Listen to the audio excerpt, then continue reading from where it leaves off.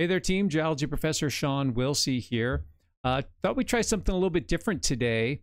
I teach here at the college a course called Natural Disasters, and one of the things we look at, in fact, we're studying it this week, is tropical storms and hurricanes. And this week, in fact, happening today on October 27th, we have this massive historic uh, hurricane, Hurricane Melissa, that's in the news now. It's going to be in the news for the next several several days as it causes severe impacts in the Caribbean region. So I thought we'd look at this a little bit. Again, full disclosure, I am not a, um, a professional me- meteorologist. I know a few things, it's sort of a, a hobby of mine, I suppose, and related to some of the classes I teach. But I thought I'd share a few little bits of information with you about this hurricane and maybe teach a few things, learn some stuff together. And so let's just look right to it. So here we can see satellite image of Hurricane Melissa just to the south of the island of Jamaica. And it's been traveling through the Caribbean in a sort of a west northwest trajectory. Today it started turning a little bit north. And through the next few hours, it's going to continue north and then turn northeast. That'll take it over uh, Jamaica tonight and early Tuesday.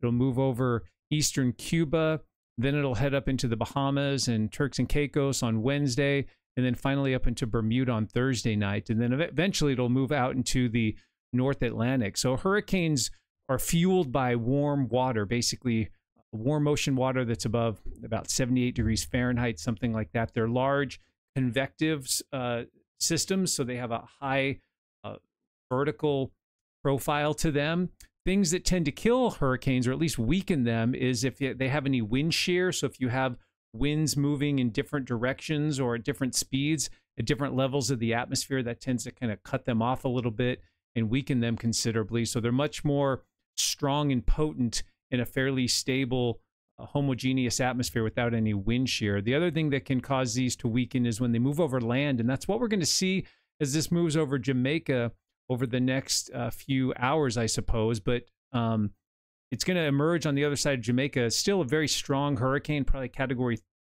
three hurricane, a, a major hurricane. Um, so it's going to weaken somewhat, but not uh, completely. And then the other thing that'll diminish hurricanes' uh, strength will tend to be if they move over colder water. And that will happen to Hurricane Melissa in the next few days once it moves out into the North Atlantic. But for now, this is a very strong storm. It's going to wreak havoc and cause all sorts of problems here on the island of Jamaica. Here's a satellite loop kind of showing a little bit bigger view of what's been going on here. You can see the well-defined eye there, that little kind of pinhole at the center of the storm. Uh, that's an area of fairly calm weather. It's actually an area area where the wind is descending rather than ascending. Um, so there's a little bit of air circulating back down. That's why it's clear. Uh, but the rest of this has really strong winds over 160 miles an hour as a category five. That's about 72 meters per second. Uh, substantial amounts of moisture and rainfall. And again, the big hazard we're looking at here as this moves over Jamaica. Jamaica is actually a really mountainous island. I think there's some uh, topography that goes over five, six, maybe 7,000 feet. So over 2,000 meters, especially on the eastern side of the island. So when we get all the rainfall occurring there, let's see if we can find a uh, forecast for, yeah, all this rainfall that's going to happen in the next three days. You can see Jamaica there looking anywhere upwards of maybe 30 inches or about uh, 750 millimeters, seven, uh, 750 millimeters of rain in Jamaica. Just a tremendous amount of rain on that very mountainous landscape with steep topography. So that water is going to funnel down into the canyons.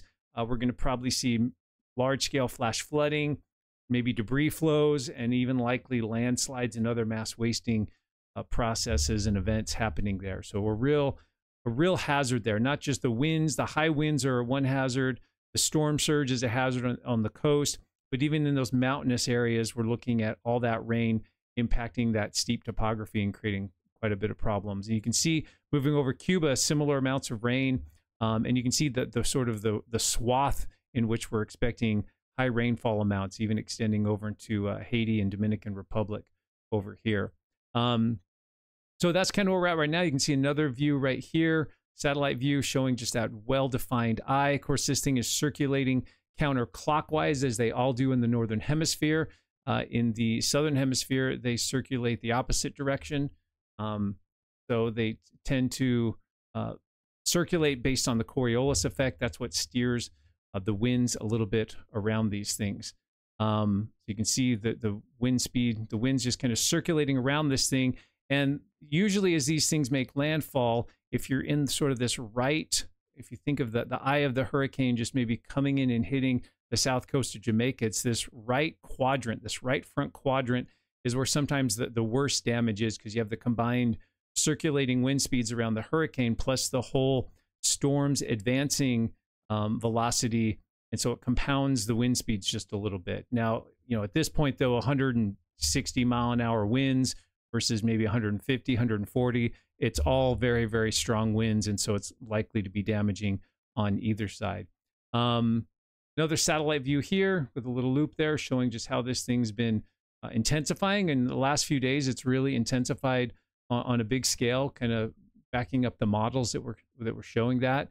Uh, here we can see if we zoom in a little bit here, here's the, the track of the hurricane uh, across the Caribbean. So it's been a category four yesterday, um, wobbled a little bit, but mainly just moving to the west.